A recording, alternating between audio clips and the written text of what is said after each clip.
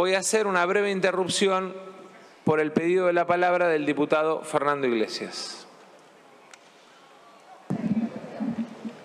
¿O la quiere hacer usted, diputado Ritondo, en nombre del bloque? No, no, por favor. Ah, bueno.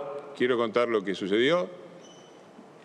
Yo me permito recal- recalcar, les invito a que miren el tablero, que hay una votación con 241 votos positivos, que hemos apoyado, a pesar de no ser nuestra ley, simplemente por espíritu de colaboración con el gobierno y con el país. Mientras nosotros aquí sufrimos 14 toneladas de piedras y el club del helicóptero durante 14 años. La violencia física es un límite que no puede ser cruzado.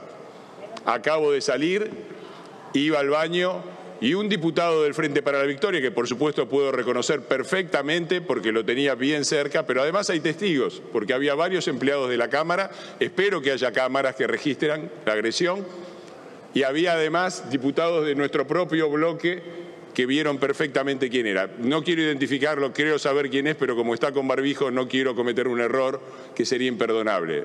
Es un diputado del Frente para la Victoria, vino, se acercó a mí, me empujó fuertemente, me hizo trastabillar, me puse las manos detrás de la espalda y le dije que lo iba a denunciar. Y yo espero, señor presidente, que haya cámaras y que haya testigos porque esto es inaceptable. Es un límite que nunca se ha cruzado entre diputados al interno del Congreso.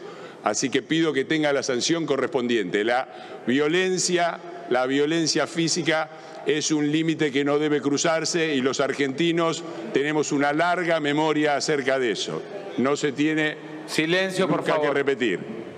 Gracias, diputado. Diputado, lo voy a, voy a habilitar lo que usted plantea como una cuestión, digamos, como si fuera una cuestión de privilegio, pero agravada, a tratar en la Comisión de Asuntos Constitucionales y en el sistema. Silencio, por favor.